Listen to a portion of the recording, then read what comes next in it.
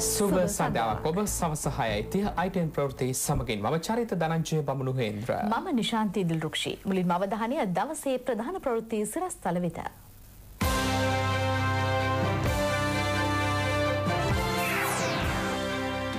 විසි එක් වන සියවසට ගැලපෙන අධ්‍යාපන ක්‍රමයකට කැපවෙමු. අගමැති පවසයි. ගම්මිරිස් කරුන්කා සාධික්කා වසාවාසී සියඹලා සහ කුරුදු ආනයනය අත්හිටුවේ. මිනිස් ජාවාරම් සඳහා දීවර බෝට් යොදා ගැනීම වැලැක්වීමට නවනීති. තවත් මද්‍රව්‍ය ජාවාරම්කරුවෙකු අත්තඩංගුවට. ක්‍රිකට් ලෝක කුසලානයේ ශ්‍රී ලංකා බලාපොරොත්තුව මගේ බලාපොරොත්තු තියෙන අවසාන තරගාවලියට ගෙන්න ගන්න පුළුවන්ද කියන එක තමයි අද ක්‍රීඩා කරන විදිහට ඉතාමත් නරක තත්ත්වයක ඉන්නේ. විසියෙක් වන සියවසට ගැලපෙන අධ්‍යාපන ක්‍රමයක් සඳහා කැපවිය යුතු බව අග්‍රාමාත්‍ය රනිල් වික්‍රමසිංහ මහතා පවසෙනවා. කුරුණෑගල විශ්වතා විද්‍යාලය විවෘත කිරීමේ අවස්ථාවට එක්වමින් අග්‍රාමාත්‍යවරයා මේ බව කියා සිටියා. මේ පිළිබඳ වැඩිදුර තොරතුරු රාත්‍රී නමය ඉත්තිය අපගේ මීළඟ ප්‍රෘති විකාශයෙන් පලාපොරොතු වන්න. මේ අතර සිට්‍රා සමාජ නවෝත්පාදන පර්යේෂණාකාරය අග්‍රාමාත්‍ය රනිල් වික්‍රමසිංහ මහතාගේ ප්‍රධානත්වයෙන් කොළඹදී නිල වශයෙන් එළි දැක්වුණා. මෙරට රාජ්‍යංශයේ පළමු නවෝත්පාදන පර්යේෂණාකාරය මෙයයි.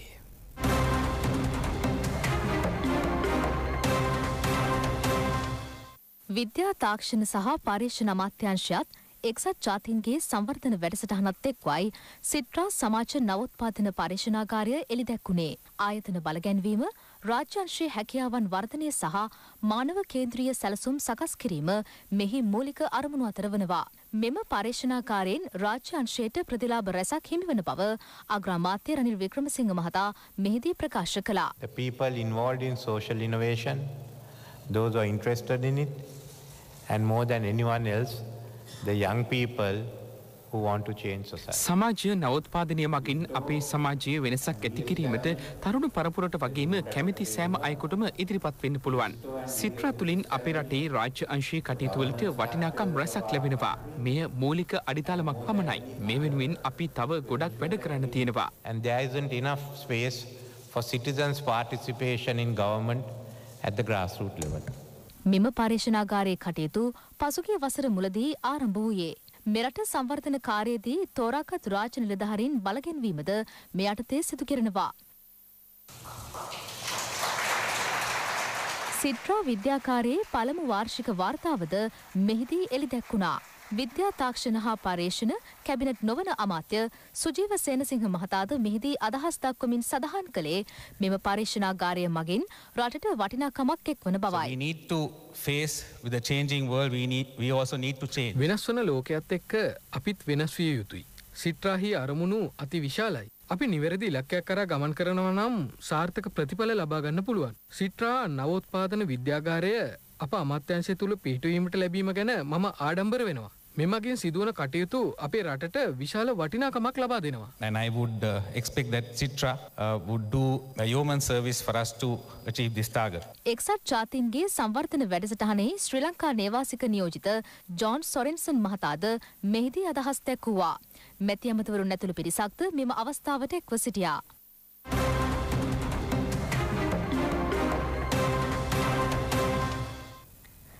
මිනිස් ජාවාරම සඳහා දීවර බෝට යොදා ගැනීම වැළැක්වීමට නවනීති හඳුන්වාදීමට කටයුතු කරනවා.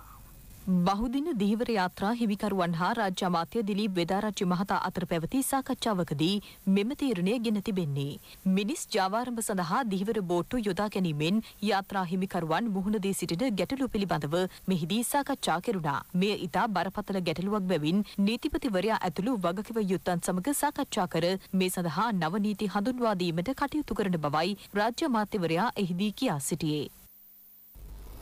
රජයේ ආර්ථික වැඩපිළිවෙල යටතේ රුපියලේ අගය ශක්තිමත් කිරීමට හැකි වී තිබෙන බව නියෝජ්‍යමාත්‍ය නලින් බණ්ඩාර මහතා පවසනවා. සංවර්ධන උපාය මාර්ග හා ජාත්‍යන්තර වෙළඳ අමාත්‍යංශයේ පැවති මාධ්‍ය හමුවකට එක්වමින් ඒ මහතා මේ බව කියා සිටියා. පොහොට්ටුවේ පක්ෂය අය එදාවේල ටුවස් කියලා අර කියන්නේ ඒ වගේ තත්ත්වයට අද පත් වෙලා ඉන්නවා. එක එක කාලෙට එක එක කරුණු කාරණා අරගෙන විශාල ගෝසාවක් නගනවා. ඒ ගෝසාව ටික දවසින් මැකිලා යනවා. දැන් පහුගිය කාලේ රුපියල ගැන විශාල තරගෙට බන්දුන ගෝර්ධන මහත්තයා ඇතුළු අය තර්ක කරන්න ගත්තා රුපියල බාල්දු වෙනවා කියලා විශාල සටනක් කරන් ගියා ඒගොල්ලෝ ආවොත් මේක නැති කරනවා කියලා. හැබැයි දවස් 52 ඒගොල්ලන්ට රුපියල බාල්දු වීම නතර කරන්න බැරුව ගියා. ඊට වඩා වේගෙන් රුපියල බාල්දු වුණා. අපි අද ආර්ථිකය ස්ථාවර කරලා අපිට පුළුවන් වෙලා තියෙනවා රුපියලේ අගය වැඩි වෙන්න අවශ්‍ය කටයුතු කරන්න. හැබැයි රුපියල ස්ථාවරයි බන්දුල සද්ද නැහැ. උතුරේ සහ දකුණේ සියලු ජනතාවට නිදහස්ව ජීවත්වීමට අවශ්‍ය පරිසරය සකස් කිරීම රජයේ අරමුණ බවද නලින් බණ්ඩාර මහතා මෙහිදී ප්‍රකාශ කළා. උතුරේ ක්‍රියාත්මක වෙන ආවා කල්ලිය ගැන මම පැහැදිලිවම කිව්වා මේ ත්‍රස්තවාදී කල්ලියක් නෙමෙයි කියලා. දරුණු ගණේ අපරාධකරුවන් විදිහටවත් ඕන් කොටි ත්‍රස්තවාදීන් විදිහටවත් හඳුනන්න බැහැ කියලා. ඊයේ පෙරේදා ඉඳන් මම දැක්කා මේ සමාජ මාධ්‍ය ජාලවල ඒ ආවා කල්ලියේ සමාජිකයෙක් දරන දේශපාලන ස්ථාවරය. අපි එදා කියපු කාරණේ අද යම් කට්ටමට පිළි අරගෙන දිනවා. උතුරේ වේවා දකුණේ වේවා සියලුම ජනතාවට සමව නිදහස භුක්ති විඳින්න තියෙනවා නම් අන්න ඒක තමයි වෙන්න ඕනේ. ඒවට තමයි අපි මේ ව්‍යවස්ථාවල් ගේන්න හදුවේ. ඒවට තමයි අපි මේ රට අරගෙන යන්න උත්සාහ කරන්නේ. නිවැරදි සංවර්ධනයට රට යොමු කිරීම සඳහා මෙවර අයවැය තුළින් ප්‍රතිපාදන වෙන්ව තිබෙනවා. අයවැය පිළිබඳ අප කළ විමසුමෙහි තවත් සටහනක් දැන්. කාර්යක්ෂමව හා පලදායිව මහජන සේවය සැපීම රජයේ ප්‍රධාන අරමුණක්. පසුගිය කාලේ රජයේ සහන නිවැරදිව ජනතාවට ලැබුණද. ජනතාව මෙවර අයවැයෙන් බලාපොරොත්තු වෙන්නේ මොනවද. අප සූදානම්. අයවැය අරමුණු ගැන ඔබට කියන්න. රටේ යහපත වෙනුවෙන් නව ආර්ථික හා සමාජ පරිසරයක් ඇති කිරීම මෙවර අයවැය තුළින්ද ජනතාව අපේක්ෂා කරනවා. රටේ ආදායම ඉහළ නන්වා ගැනීමට විශේෂ වැඩසටහන් රසක්ද මෙවර අයවැය තුළ ඇතුළත්. ඒ අනුව රාජාදායම සියට දාහතක් දක්වා වැඩිකර ගැනීමට අපේක්ෂා කරනවා. ජනතාවට රිජු ප්‍රතිලාභ අත්වන මාර්ග සංවර්ධන, නිවාස සංවර්ධන, වාරිමාර්ග සංවර්ධන, පානීය ජලයෝජනා ක්‍රම ආදී ශ්‍රේෂ්ඨ රැසක විශාල ව්‍යාපෘති සඳහා අයවැය ප්‍රතිපාදන වෙන් කර තිබෙනවා. ග්‍රාම ශක්ති ගම්පෙරලිය එක ගමකට එක් ව්‍යාපෘතියක් යන වැඩසටහන්ද ඒ අතර වෙනවා. පොදු ජනතාවගේ ආර්ථික තත්ත්වය හා ජීවන මට්ටම ඉහළට ගෙනීමට දිරිදෙමින් ගමත් නගරයත් එකසේ දියුණු කරන යෝජනා ඇතුළත් දෙදහස් දහනමය අයවැය ලබන වස පාර්ලිමේන්තුවට ඉදිරිපත් කිරීමට නියමිතයි. දැන් අපි දන්නවා මේ ඩොලර එකත් එක පහුගේ දවසල බඩු මිල සීග්‍රයෙන් ඉහළ ගියා. කෙසේ හෝ ඩොලර එක මාකට් එක ඉදිරියේදී අඩු වුණා පස්සේ මේ රටට මේ ආනයන කරන බඩු වල මිල අඩු වුණොත් මීට වඩා හොඳයි කියලා හිතනවා. දේශීය නිෂ්පාද කර්මාන්තර යෙදී සිටින අයට සහන දෙනෝ නම් අපේ දේශීය කර්මාන්ත නංවන්න පුළුවන් යටිතල පහසුකම් වැඩි කරනවා නම් විශාල සහනයක් ලැබෙනවා මේ දේශීය කර්මාන්ත යෙදී සිටින අයට. පසුගිය කාලේ රජයේ සහන දුන්නට ඒක ජනතාවට කෙලින්ම ගියේ නෑ. ඒ සහන යන යාන්ත්‍රණයක් හදන්න ඕන. එතකොට තමයි ජනතාවට දැනෙන්නේ. නැත්නම් ජනතාවට ඒක දැනෙන්නේ නෑ. දිලතින සහන තවදුරටත් බලාපොරොත්තු වෙන ප්‍රමාණාත්මකව ඉදිරියට ගෙනියන්න. ඉදිකිරීම් ක්ෂේත්‍රය මාර්ග සංවර්ධනය ඒ වගේ යටිතල පහසුකම් සංවර්ධනය කරන්න ඒ වගේ දේවල් වර්ධනය වෙනවා නම් ගොඩක් හොඳයි.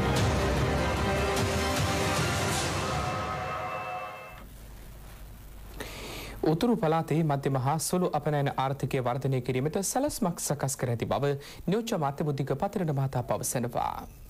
උතුරු පලාතේ සුළු අපනෑන නිෂ්පාදන ඉහළ නැංවීම් පිළිබඳ සකච්ඡාවක් යාපනය දිස්ත්‍රික් ලේකම් කාරාලයේදී පැවැත්වුණා. එහිදී නියෝජ්‍ය අමාත්‍යවරයා මේ බව ප්‍රකාශ කළේ. විදෙස් ආයෝජකින්ගේද සහය ලබාගනිමින් අපනෑන ආර්ථිකය වර්ධනය කිරීමට රජය සැලසුම් සකස් කර ඇති බව මෙහිදී හෙළි කෙරුණා. මෙරට කර්මාන්ත හා වාණිජ අංශය සියයට අසූ හයක වර්ධනයක් පෙන්වන අතර එම වර්ධන වේගය උතුරු පලාතින්ද අපේක්ෂා කරනවා. තවමත් උතුරු පලාතේ බොහොමයක් ඉඩම් යුද හමුදාව සතුව පවතින බවට විවිධ ප්‍රචාර සිදුවනවා. ඒ ප්‍රචාර තුළ සත්‍යයට වඩා අසත්‍යයට වැඩි ඉඩක් ලැබීමත් මෙරට සංහිධ්‍යාවට ගැටලු ඇති කරන්නක්. කිලනොච්චි ආරක්ෂක සේනා බල ප්‍රදේශයට අයත් ප්‍රදේශවල යුද හමුදාව ඉඩම් නිදහස් කර ඇත්තේ මේ ආකාරයෙන්. එම බලපදේශයට අයත් රජයේ ඉඩම් අක්කර විසි හයදහස් හයසේ විසි දෙකයි දශම හතරයි හතරක් මේ වන විට නිදහස් කර අවසන්. පෞද්ගලික ඉඩම් අක්කර හත්සිය විසි හයයි දශම හයයි හයක්ත නිදහස් කර තිබෙනවා. එ අනුව යුදහමුදාව භාරයේ තිබූ කිලනොච්චි ආරක්ෂක සේනා බලප්‍රදේශයට අයත් ප්‍රදේශ තුන්සිය විසි හයක ඉඩම් අක්කර විසි හද්දහස් තුන්සිය හතලිස් නවයයි දශම එකක් නැවත භාරධය ඇති බවයි හමුදාව පවසන්නේ. වැඩිම ඉඩම් සංඛ්‍යාවක් භාරධය ඇත්තේ දෙදහස්දා හතවසරේදී. එම කටයුතු අකණ්ඩෝම සිදුවමින් පවතිනවා. ඉඩම් නිදහස් කිරීමෙන් පමණක් උතුරේ ජනතාව අත් නොහරින හමුදාව ඔවුන්ගේ ජනජීවිත ගොඩනගන්නත් පියවර රැසක් අරගෙන නැවත පදිංචි වන ජනතාවගේ නිවාස හදල දෙන්නෙත් ආරක්ෂක හමුදාවයි. ඔබ මේ දකින්නේ යුද හමුදාවේ හත්වන පාබල හමුදාව මල්ලාවි ප්‍රදේශයේ ඉදිකරන නිවාස ව්‍යාපෘතියක්. නිවාස සංවර්ධන අධිකාරයේ ණය ආධාර මතයි මෙහි ඉදිකිරීම් සිදුවන්නේ. යුද්ධයේ කටුක අත්දැකීම් සමඟ කර්කශ වෙච්ච ජීවිතයේ සැදෑ සමයේදි හරි හිස්සට සෙවනක් ලැබෙනකං ඉන්න අම්ම කෙනෙක්. අපිත් එක්ක මෙන්න මේ විදිහට කිව්වා. ඉස්සර හිටිය කිල්නේචි වලේ හිටියේ අක්කල ගෙදර ඉඳලාවිලා අපි මෙත ඉඩම නැතුව හිටිය උසාවි මාතය තමයි මේ ඉඩම අපිට දුන්න කේරි අදලා අපිට ඉන්ඩාරී මෙතද මේ අයිනකොට ටික කරදර වෙස්සාවොත හතුළ ඉන්ඩ බෑ තමයි තැන් අදනක අපි ඉඳලා ට පසේ එකට යනවා. මේ ජනතාව වෙනුවෙන් ගෙවල් ටික හදන හමුදාවේ රණවිරුවයි. උතුරේ මිනිස්සු ටිකයි එකට එකතු වෙලා වැඩ කරන හැටි දැක්කම ඇත්තටම අපිට දැනුනේ සංහිඳියාව.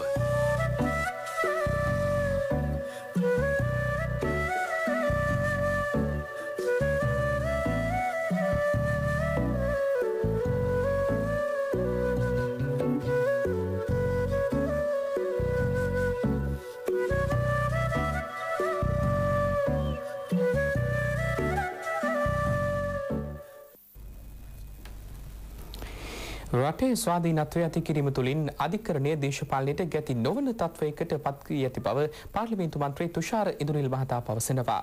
සිරිකොත එක්සත් ජාතික පක්ෂ මුලස්ථානයේ පැවති මාධ්‍යමක් දැක්වෙමින් ඒ මහතා මේ බව කියා සිටියා. පූර්ණ නිදහස සහ ස්වාධීනත්වය අපි ඇති කරනු ලැබවා. දේශපාලන අතිපැවීම් වලින් තොරව.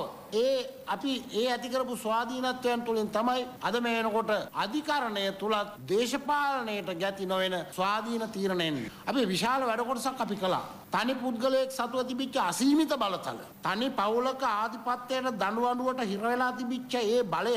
අපි සියලු දෙනා එක්කම වෙලා අපි මේ විසුරුවා හැරලා ආයාපහු ඒ බලය අපි සර්පයාගේ දත්ටික කඩන දැම්මට පස්සේ. දැන් ආයාපහු මහින්ද රාජපක්ෂ මහත්තයා කියන එතුමා වහම ආය අර දත් කුට්ටන් ටික හයි කරගෙන ආය අලුත් ව්‍යවස්ථාවක් ගේනවා කියන්නේ. ජනතාව මේ සඳහා ප්‍රතිචාර දක්වර යුගයේ මං හිතන්නේ වැඩි ඈතක නෙමෙයි කියන එකත් මේ අවස්ථාවේදී කියන්න ඕනේ. මද්‍රව්‍ය ජාවාරම්කරයෙකු සහ අපරාධ කල්ලි සාමාජිකයෙකු වන කංජපානි ඉම්රාන්ගේ සමීපතමයෙකු අත්අඩංගුවට ගත්තා. මාලිකාවත ප්‍රදේශයේදී ඔහු අත්අඩංගුවට ගනුනේ පොලිස් විශේෂකාර බලකාය කළ සෝදිසි මෙහෙයුමකදී. සැකකරු ළඟ තිබී මත්කුඩු තොගයක්ද සොයාගෙන තිබෙනවා. මේ අතර මාධ්‍යමුකදී අදහස් දැක් වූ පාර්ලිමේන්තු මන්ත්‍රී විජේදාස රාජපක්ෂ මහතා ප්‍රකාශ කළේ මාකන්තුරේ මදුෂ්ට ඩුබාහිදී නීතිය නිසි ලෙස ක්‍රියාත්මක වනු ඇති බවයි. අපේ රටේ පාතාල කල්ලයක් හරි කුඩු කල්ලයක් හරි තුම්මාසිකට වැඩි කාලයක් ආයුෂ තියෙන විදියට පැවතිනෝ නම් අනිවාර්යෙන් ඔවුන් ආරක්ෂා කරන්න දේශපාලන කණ්ඩායමකුත් පොලිසිය ඉහළ නිලධාරි කණ්ඩායමකුත් සිටිනවයි කියන එක පූර්ව නිගමනයක් ඒක කිසිම සැකයක් නෑ. ඒ රටේම නීතිය ක්‍රියාත්මක කළොත් වඩාත් සාධාරණ යුක්තිසාගත වේ කියලා තමයි මම පෞද්ගලිකව කල්පනා කරන්නේ. අධිකරණයට අපාස කිරීමේ චෝතනාව සම්බන්ධයෙන් උතුරු පලාතේ හිටපු ප්‍රධාන අමාත්‍ය සීවී විග්නේශ්වරන් මහතා ඇතුළු තුන්දෙනෙකු ගොනු කළ මූලික විරෝධතා අභ්‍යාචනාධිකරණය අද ප්‍රතික්ෂේප කළා. අදාළ චෝදනාව යටතේ නඩු කටයුතු ඒ අනුව ඉදිරියට පවත්වාගෙන යාමටයි විනිසුරුවරුන් තීරණය කළේ. උතුරු පළාත් සභාවේ දීවර හා ප්‍රවාහන අමාත්‍යවරයා ලෙස කටයුතු කළ බී ඩෙනිශ්වරන් මහතා ඉවත් කිරීමට හිටපු ප්‍රධාන අමාත්‍ය විග්නේශ්වරන් මහතා තීරණය කර තිබුණා. ඒ වලක්වාලමින් අභ්‍යාචනාධිකරණය නිකුත් කළ අතුරු තහනම ක්‍රියාත්මක නොකළ බවට චෝදනා කරමින් ඩෙනිශ්වරන් මහතා නඩු පවරා තිබුණා. ඒ අධිකරණයට අපහාස කිරීමේ චෝදනාව යටතේයි. ඒ සම්බන්ධ නියෝගයයි අද ප්‍රකාශයට පත් කෙරුණේ. පොලිස් නිලධාරියෙකුට පහරදීමේ චෝදනාවක් සම්බන්ධයෙන් අධිකරණයට ඉදිරිපත් වූ පාර්ලිමේන්තු මන්ත්‍රී චමින්ද විජේසිරි මහතා බණ්ඩාරවිල මහේස්ත්‍රාත් අධිකරණය ඇපමතු මුදා හැරියා. හිටපු නියෝජ්‍ය පොලිස්පති නාලකද සිල්වා ගායන ශිල්පී අමල් පෙරේරා සමග සබඳතා පවත්වා ඇති බවට තොරතුරු ලැබී ඇති බව අපරාධ පරීක්ෂණ දෙපාර්තමේන්තුව අධිකරණයට දැනුම් දුන්නා. ඒ ප්‍රභූ ඝාතන කුමන්ත්‍රණ නඩුව කොළඹ කොටුව මහේස්ත්‍රාත් අධිකරණයේ අද විභාගයට ගත් අවස්ථාවේදී. මෙය කුමන ආකාරයේ සබඳතාවක්ද යන්න විමර්ශනය කිරීමට ජාත්‍යන්තර පොලිසිය හරහා සාකච්ඡා පවත්වමින් සිටින බවද අපරාධ පරීක්ෂණ දෙපාර්තමේන්තුව දැනුම් දුන්නා. ගම්මිරෙස් කරුංකා සාධිකා වසාවාස සියඹලා හා කුරුඳු ආනයනයේ අත්හිටුවීමට කැබිනට් අනුමැතිය හිමි වුණා. තාවකාලිකව ආනයනය කිරීම අන්තර්ජාල විලඳාම හා වාණිජ කේන්ද්‍රස්ථාන මෙහෙයුම් යනාදී ක්‍රම මගින් ශ්‍රී ලංකාවට ආනයනය කරන ද්‍රව්‍යයි මෙලෙස අත්හිටුවනු ලබන්නේ. ඒ ඇතුළු තවත් යෝජනා කිහිපයකට අමාත්‍ය මණ්ඩල අනුමැතිය හිමි වුණා. ශ්‍රී ලංකාවෙන් ඉන්දියාව හා පාකිස්තානය වෙත ප්‍රතිනවගත කෙරෙන ආනයනික කුළුබඩු ශ්‍රී ලාංකික නිෂ්පාදන ලෙස වාර්තාවීම වැළැක්වීමට අදාළ ක්‍රමවේද ස්ථාපනයටද කැබිනට් අනුමැතිය හිමි වුණා. රාජ්‍යංශයේ වැටුප් සමාලෝචනය සඳහා පත් කළ විශේෂ කොමිෂන් සභා වාර්තාවේ නිර්දේශ ක්‍රියාත්මක කිරීමට යෝජනා ඉදිරිපත් කිරීම සඳහා ජනාධිපතිතුමා අමාත්‍ය මණ්ඩල අනුකමිටුවක් පත් කළා. විශේෂ කොමිෂන් සභා වාර්තාවේ ඇතුළත් නිර්දේශ ක්‍රියාත්මක කිරීම පිළිබඳ අධ්‍යයනය කර අවසන් යෝජනා කැබිනට් මණ්ඩලයට ඉදිරිපත් කිරීම සඳහායි එය පත් කර ඇත්තේ. ශ්‍රී ජයවර්ධනපුර මහරෝහල වැනි රජයේ රේකීය ශික්ෂණ රෝහලක් ලෙස වෛද්‍ය නෙවිල් ප්‍රනාන්තු ශික්ෂණ රෝහල පවත්වාගෙන යාමට යෝජනා වී තිබෙනවා. ඒ අනුව කොළඹ නැගෙනහිර මූලික රෝහලට සමගාමීව කොළඹ නැගෙනහිර ශික්ෂණ රෝහල ලෙස නෙවිල් ප්‍රනාන්තු රෝහල පවත්වාගෙන යාමට අමාත්‍ය මණ්ඩලය අනුමැතිය ලබා දුන්නා. භගවන්තලාව රොබ්ගිල් වතයායේ කම්කරු කාන්තාවන් අතර අපූරු තරගයක් පැවැත්වුණා. මේ තරගෙන් ජයග්‍රහණය කරපු අයට පදක්කම් වගේම මුදල් ත්‍යාගත් පිරිනමන්න කටයුතු කෙරුණා. මේ අපූරු තරගේ තමයි තේදලු නෙලීමේ තරගය. මුලින්ම එම වතුයායේ දක්ෂ විදිහට තේදලු නෙලන වතුකම්කරු කාන්තාවන් නව දෙනෙක් තෝරගත්තා. ඔවුන්ට හොඳින් තේදලු වැඩුණු ඉඩමක තේදලු නෙලන්න විනාඩි තියක කාලයකුත් ලබා දුන්නා. ඊට පස්සේ තමයි අභියෝගය ආරම්භ වුණේ. හරි හරියට දිගට හරහට දළු නෙලපු මේ අය අතරින් විනාඩි තියකදී හරිම ප්‍රමිතියට තේදලු නෙලලා තුන්වන ස්ථානය හිමි කරගත්තේ එස් තෙයිවාන්. දෙවන ස්ථානය එස් මංජුලාට හිමි වුණා. මේ සියලු දෙනා අතරින් ප්‍රථම ස්ථානය දිනාගත්තේ එස් කමලේශ්වරි. පදක්කම් සහ මුදල් තෑගි පිරිනමමින් ජයග්‍රහකයන් අගයන්න වතු අධිකාරයේ ඉන්ද්‍රගාලි ආරච්චි මහතා ප්‍රධාන වතු පාලනාධිකාරිය කටයුතු කළා. ප්‍රථම ස්ථානය දෙනපු කමලේශ්වරයට තවත් සුවිශේෂී අවස්ථාවක් හිමි වුණා. එතමයි දිවයිනේ තමන් කැමති ඕනම ස්ථානයක දවසක් ගත කිරීමට අවශ්‍ය අනුග්‍රහය හිමිවීම. බොහොම විනෝදයෙන් තමයි රොබ්ගිල් වතුයායි ජනතාව මේ තරගය බලන්න එකතු වෙලා හිටියේ. තේවතු ආශ්‍රිතව සේවය කරන වතුකම්කරු කාන්තාවන් දිරිගැන්වීම සහ වඩාත් කාර්යක්ෂම ආකාරයට ඔවුන් මේ කටයුතු වලට එකතු කර ගැනීම මේ දළු නෙලන තරගයේ පැවැත්වීමේ අරමුණ වුණා. මේ වගේ තරඟ ඉදිරියටත් පවත්වන්න තමයි වතු පාලනාධිකාරී අරමුණ.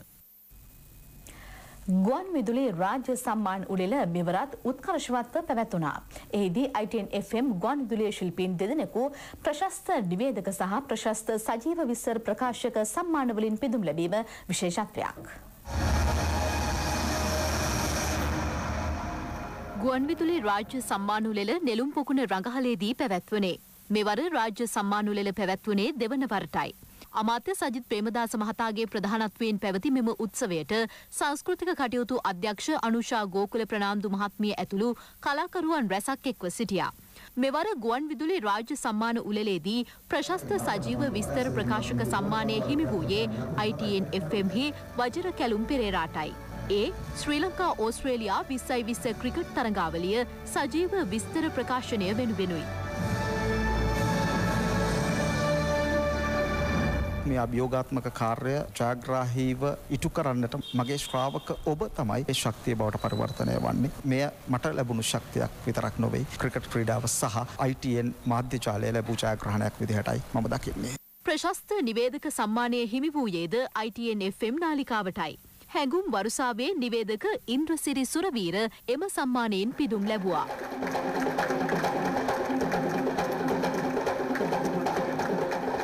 මම යන හැම තැනකදීම මාත් එක්ක එකතු වෙලා ඉන්න මිනිසුන්ගේ තිබෙන දහ සහ චින්තනයන් තමයි මම උකහාගත්තේ. ඒ නිසා වසරේ විශිෂ්ටතම සංනිවේදකයා නැත්නම් නිවේදකයා බවට මම පත්වීමේ යම් රහසක් වේද ඒ පිළිබඳ මගේ ශීර්ෂපනම් මම පෙරලා මගේ ප්‍රේක්ෂකයාට මගේ ශ්‍රාවකයාට පිරිනමනවා. ප්‍රශස්ත සජීව විස්තර ප්‍රකාශක සම්මානය සඳහා නිර්දේශිත නම් අතරට එක්වීමටද ඔහුට හැකි වුණා. ඒ මහනුවර දළදා පෙරහැර සජීව විස්තර ප්‍රකාශය වෙනුවෙනුයි. ප්‍රශස්තතම ගුවන් විදුලි නාට්‍ය ශිල්පිනියට හිමි ජූරියේ විශේෂ ඇගීම ITN FM හි වෙනුරි ගින්නලියට හිමි වුණා. ඒ නොනිමිචාරිකා ගුවන් විදුලි නාට්‍ය සඳහායි. ප්‍රශස්ත ප්‍රවෘත්ති ප්‍රකාශිකාවන්ගේ නිර්දේශිත නාම අතරට එක්වීමට ITN FM ප්‍රවෘත්ති ප්‍රකාශිකා ඉෆ්තියා කාදර් සමත් වනා. ප්‍රශස්ත නිවේදිකා නිර්දේශ නාමාතරට ITN FM සින්දු නදී වැඩසටහනේ නිවේදිකා මොනිකා සේරසිංහ එක්ව සිටියා. දැන් ක්‍රීඩාපුවත්. එළඹෙන ක්‍රිකට් ලෝක කුසලාන තරඟාවලියේදී අවසන් පූර්ව වටේ දක්වා පැමිණීමට ශ්‍රී ලංකා කණ්ඩායම මෙහෙවන බව ක්‍රිකට් උපසභාපති අපේක්ෂක අමාත්‍ය අර්ජුන රණතුංග මහතා අද පැවති මාධ්‍ය හමුවකදී කියා සිටියා. ලබන 21 වනදා පැවැත්වෙන ක්‍රිකට් නිලවරණයට ඉදිරිපත් වන කිහිප දෙනෙකුම මෙම මාධ්‍ය හමුවට එක් වුණා.